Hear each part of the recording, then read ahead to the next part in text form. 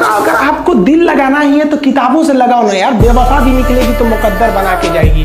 दिन ना सबके लिए 24 घंटा का होता है। ऐसा नहीं है कि आपको अलग से वक्त मिलेगा, लेकिन इसी 24 घंटे में किसी को प्यार करके पति बनने का शौक है तो किसी को मेहनत करके करोड़पति बनने का शौक है। तो आप डिसाइड करिए आपको क्या बनना है। क्योंकि बरसों बाद जब लोग ये मिलेंगे ना आपसे तो ये नहीं पूछेंगे कि कितनी गर्लफ्रेंड है। लोग पूछेंगे, कमाता कितना है? हैसियत कितनी है तुम्हारी? ये दुनिया का उसूल है कि लोग आपसे खैरियत नहीं आपकी हैसियत